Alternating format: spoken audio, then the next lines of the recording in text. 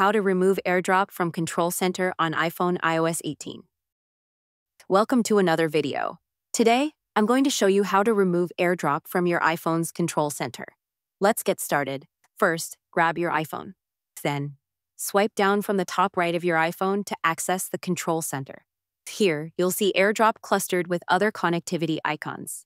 To remove AirDrop, long press in any blank area of the control center until you see a minus sign appear over the connectivity cluster.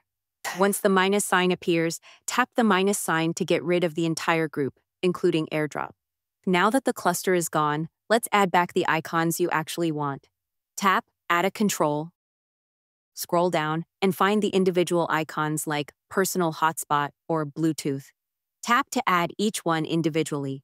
Repeat this process for all the controls you want to include.